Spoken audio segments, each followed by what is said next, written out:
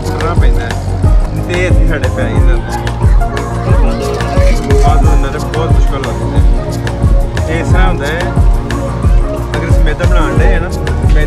ਘਾਟਾ ਹੋ ਗਿਆ ਨਾ, ਇੱਕ ਸਾਫੀ ਜਿਹੜਾ ਬੰਦਾ ਕੱਢ ਰਿਹਾ ਨਾ,